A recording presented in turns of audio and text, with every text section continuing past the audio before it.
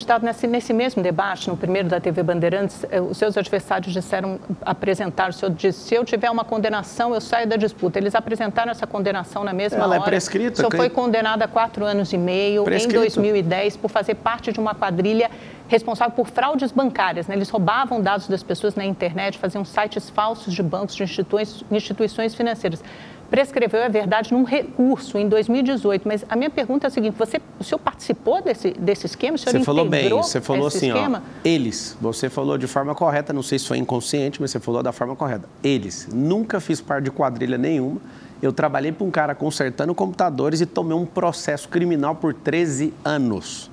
Meu pai me ensinou a ser homem, a não tocar em nada de ninguém. E faço um desafio para você, Amanda, como jornalista e todos os jornalistas desse país. Todo mundo. Descubra quanto que eu peguei e me dá o Pix que eu pago. Esse é o desafio. Queria saber do Lula, o tanto de dinheiro que ele roubou do país, que dia que ele vai devolver o dinheiro e a moral desse país. Quero saber de todas essas essa patifaria de PSOL, de PT, tudo que eles já desviaram do povo, eles dão conta de devolver? Eu sou homem, construí riqueza, um patrimônio multibilionário empresarial e eu posso falar para vocês, atuo em 19 segmentos diferentes, não afino para absolutamente nada que comunista me falar. Se eu estou devendo, põe para pagar que eu pago agora. Esse é o desafio. Agora, eu era um jovem, 18 anos de idade, estava trabalhando, eu só consertava os computadores e sobrou esse processo para mim. Esse processo, Amanda, correu à revelia.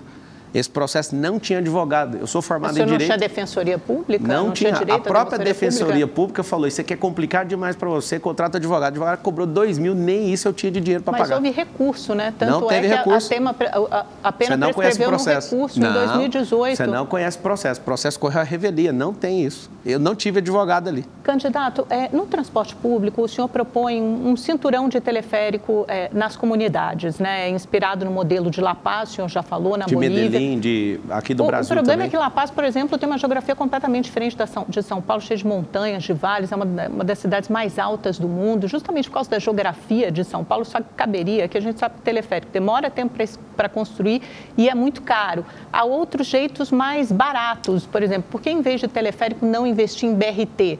Que é mais barato que o metrô, tem uma velocidade é, média mais alta do que o transporte público comum, ou mesmo os corredores de ônibus. Entra no detalhe, Amanda, acho que você não está bem informado em relação ao teleférico, ele é cinco vezes mais barato que o metrô.